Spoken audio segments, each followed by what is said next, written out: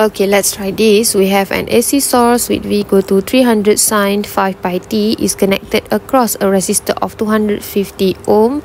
Calculate the peak voltage. So before you answer all this question, make sure you compare this equation with general equation. V is equal to V naught sine omega t, whereas V naught is 300 and omega is 5 pi. So the peak voltage is 300 volt How about frequency? You can determine frequency by relate with omega. Omega is equal to 2 pi f. Omega here is 5 pi. So divided by 2 pi, we get 2.5 hertz for frequency. And then period. Period is equal, uh, period formula is Is equal to 1 over frequency. Then equal to 0.4 second. How about the RMS voltage? RMS voltage formula is equal to V naught over Z2. So V naught is 300 divided by Z2 and we get equal to 212.13 volt. KE, the RMS current. IRMS is equal to VRMS over R.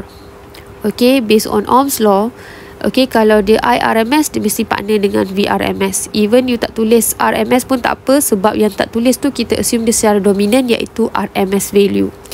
Okay, VRMS is equal to 212.13 divided by 250. So, you get 0.849 ampere. And then the peak current is I naught is equal to V naught over R. Okay, kalau V naught, dia mesti I naught. Kalau VRMS, dia mesti IRMS. So the peak current is 1.2 ampere.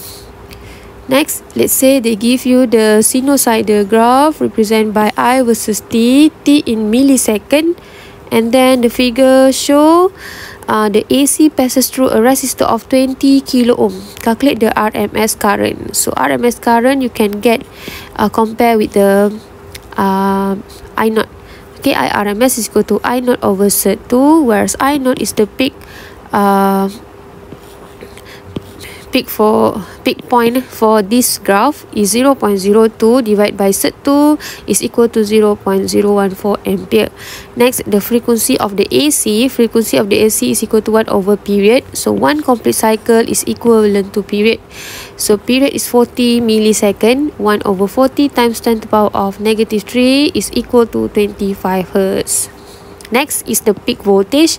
So peak voltage is V naught equal to I naught times with R. So I naught is 0 0.02 times with resistor is 20 kilo ohm. 20 times 10 to the power of 3, we get 400 volt.